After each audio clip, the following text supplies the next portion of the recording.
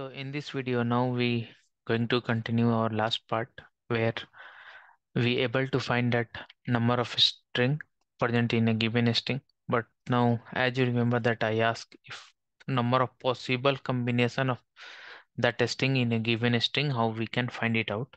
So in this video we'll try to see that how we can see all possible combination count. So for this one, I will go ahead and open Jupyter Notebook and then there we will try to do it. So here I will try to import regex that called RE. Okay. So for regex, if you are not aware, I have created already one video. You can go and see that in my playlist NLP playlist. I have created that uh, more videos for that regex. So now suppose if I pass in a string X, I will pass A, B, C, D, C, D, C. Okay. So this is that uh, string that I right now suppose I created A, B, C, D and C, D, C. Okay. and now, so we have that string. Now, as per last time, if we try to do that count of uh, CDC, so what we can do, we can do just simply s dot count count of CDC. Okay. So we got one, but right now, if you can see CDC, this one is one. And again, if we go with this CDC, so two, we need that count, but here we are getting only one because first is try to find it here count. And after that, it's a start searching from here because once it include that character, it's not going to again take that combination in count. So this one was not working. So now in regex, what it's going to do, it will just find for us all those things. So what we can try to do, now we can try to put that, okay. Suppose I will declare that result as R, okay. Or I can put that result as one variable. And in this one, I will put that length of RE, we already imported dot find all, okay. Find all is one function. And inside this, what I'm going to pass that you can see it here. I'm passing in single bracket question mark equal to CDC. Okay. That any combination of this CDC where I need to find, I need to find in S. Okay.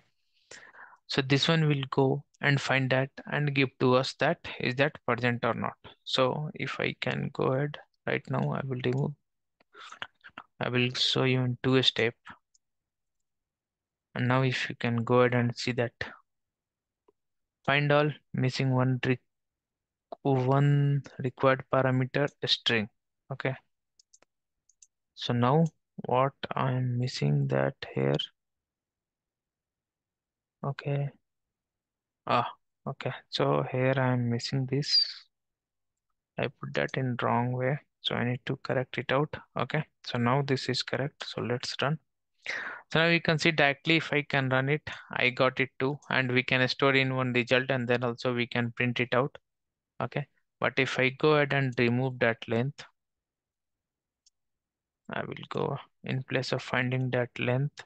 We can go and try to do that. Okay. We will get that find all missing one required string. So now again, okay. Last time I did that mistake. I repeat it. Okay. So now we can see we are getting two only blank of this one. So again, I will tell you how we can get that here report that you can do it that I already explained in my other videos. So in this way, now if I can go and store this one, if I can go ahead and put that in result and this I need to remove from here, put it and then if I go and print that result, what's that? My bad.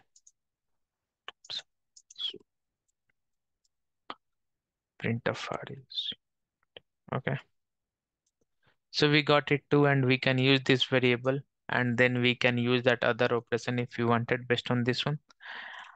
So in this way, we can find it out by using that uh, importing regex and then we can find it out. other way what we can do we can just go ahead and we can do in this way. I already created one function.